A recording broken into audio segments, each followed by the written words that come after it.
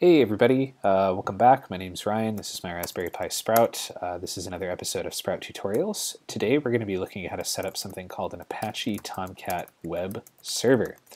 Uh, this is if you want to host a website uh, or a web server on your Raspberry Pi. Uh, it's super easy, it's free, and uh, it's all open source, which is really great. So let's get into it. Hopefully you're in the right place. Uh, I'll be following along this tutorial. Uh, as usual, it's from March 27th, 2021.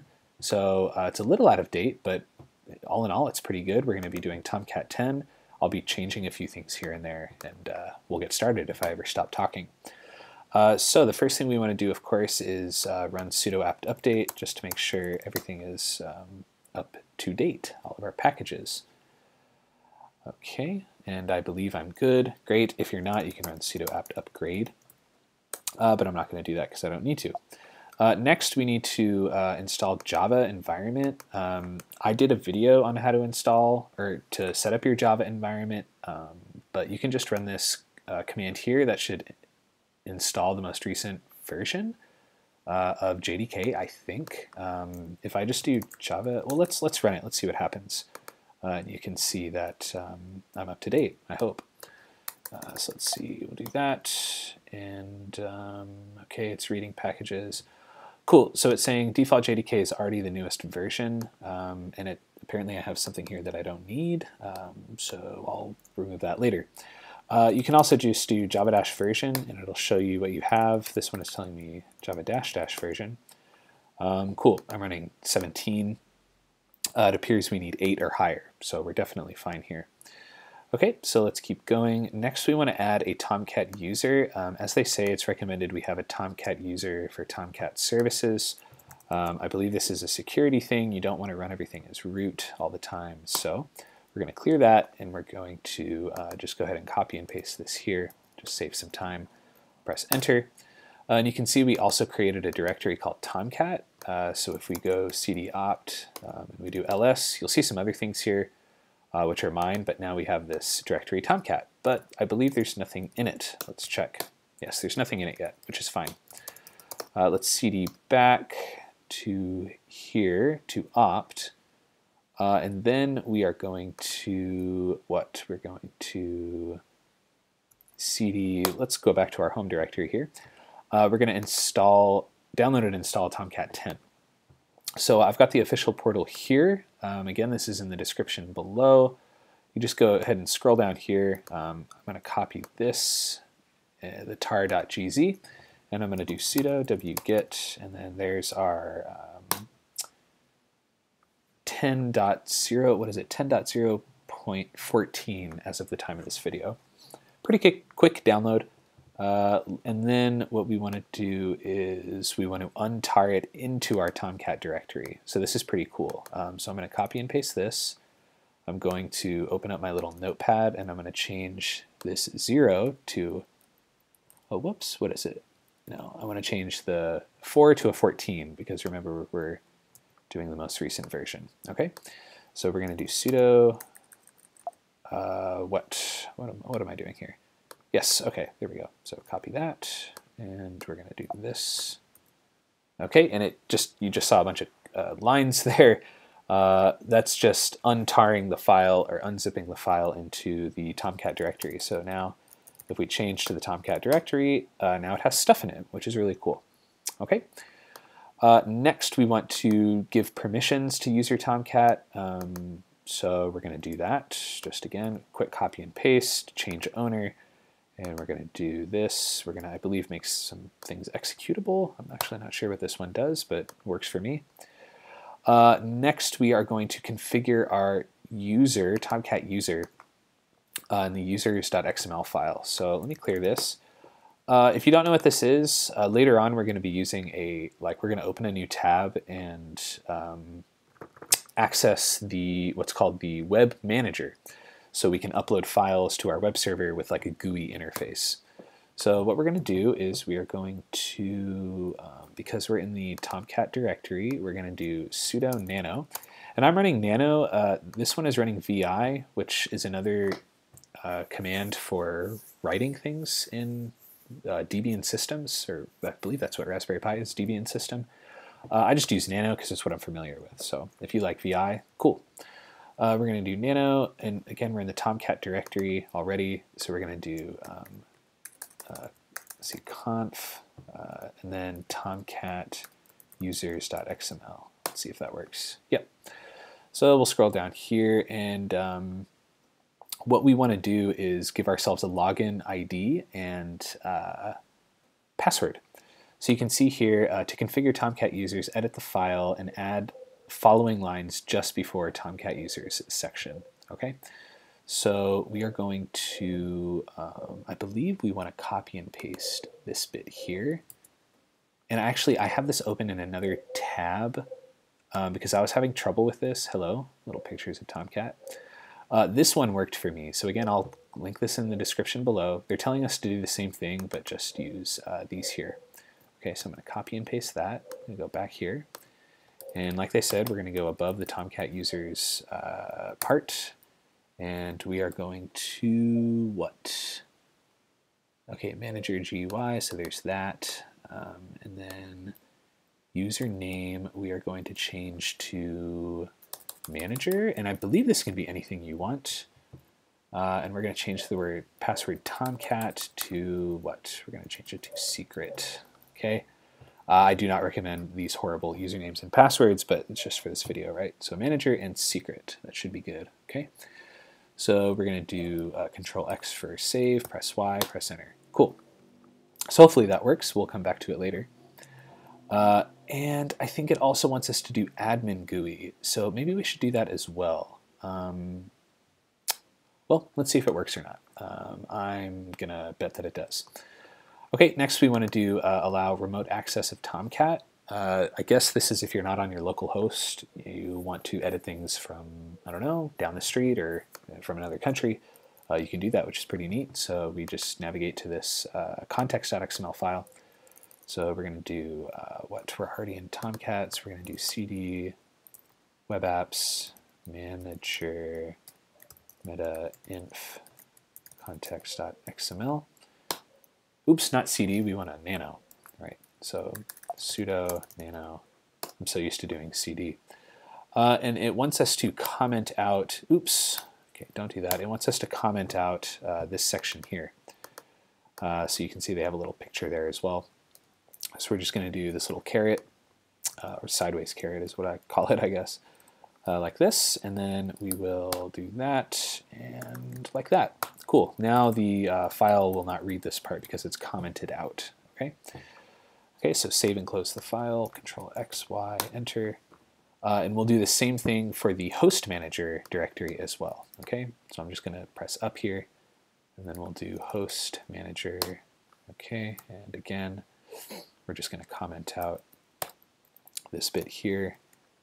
Okay, boom, and like this. Great, Control X, Enter. Okay, and also uh, this tutorial does not mention this part, but I'm going to because we're messing with host manager areas. Uh, we want to change the upload file size for our uh, eventual uh, website files that we upload to this web server. So um, I hope in a future video I will cover how to do that, but first things first, we're going to start here.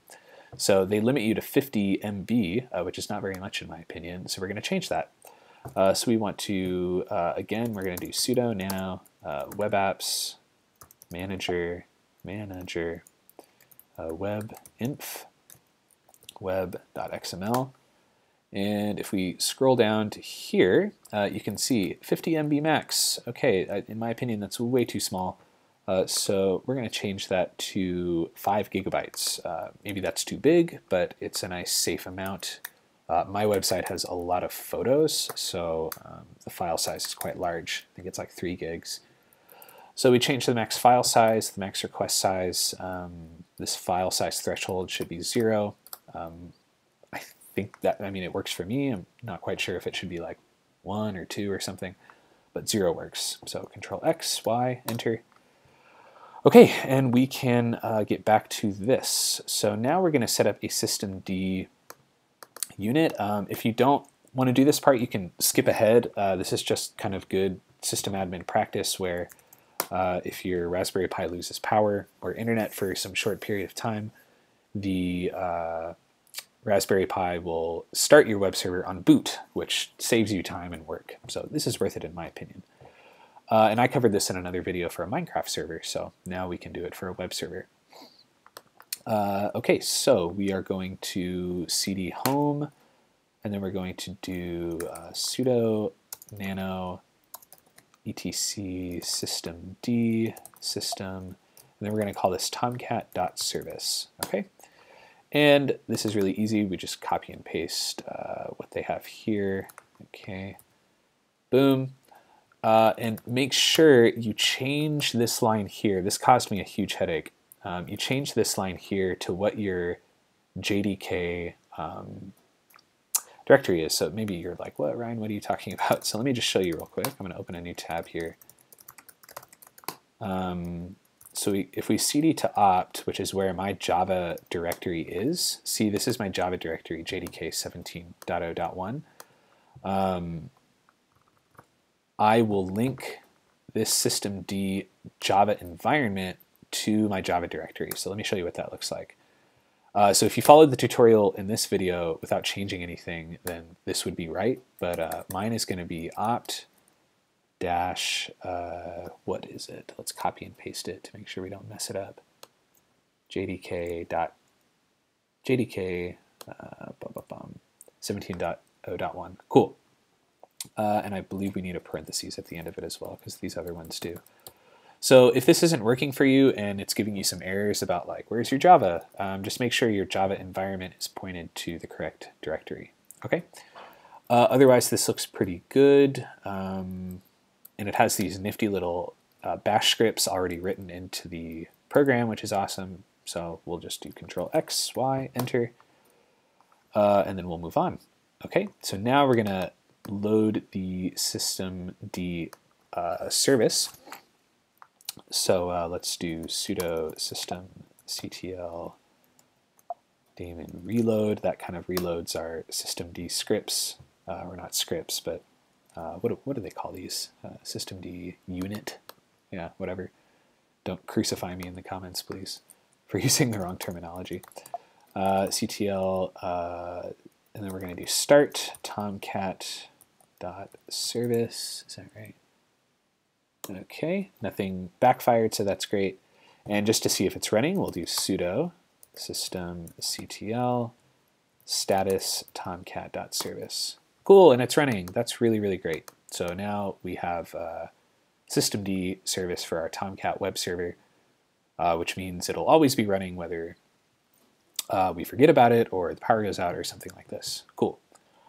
Um, and we should enable it as well. That's right. So we'll control C out of here. Um, we'll do what? We'll do sudo systemctl enable tomcat. Cool. So it should be enabled now. Uh, this one, I, I'm not sure.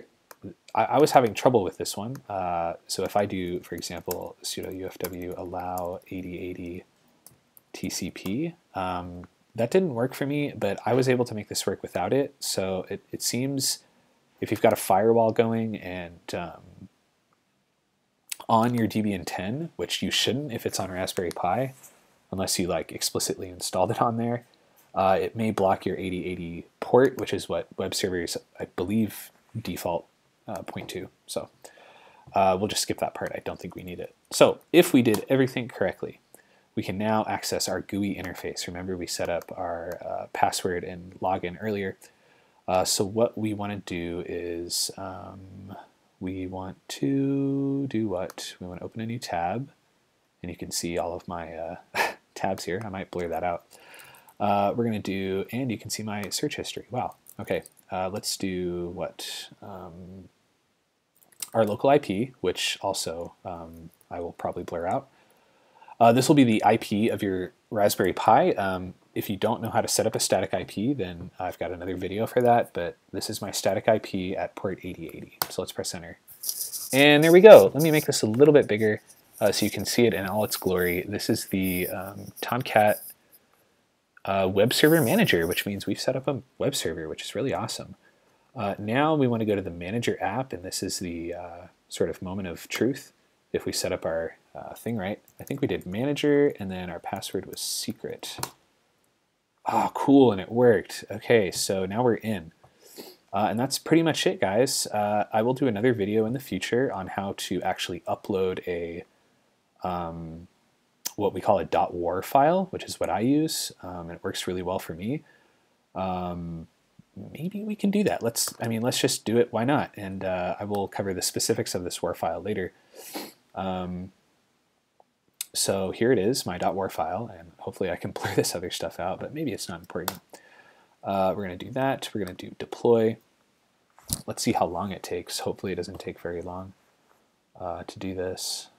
But depending on the size of your uh, file, it may take some time, like mine is doing. So I may speed this up, or I may just keep talking nervously to see which one is better.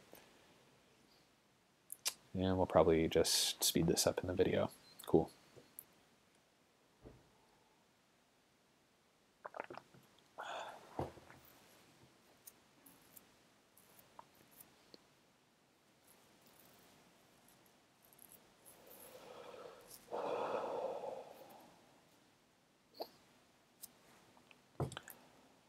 Okay, so um, we got this message that says okay, very nice of them, uh, and there is our file. Uh, mine is called F1. So if we click it, uh, that should redirect us to the uploaded file on our local host, uh, which is really, really awesome.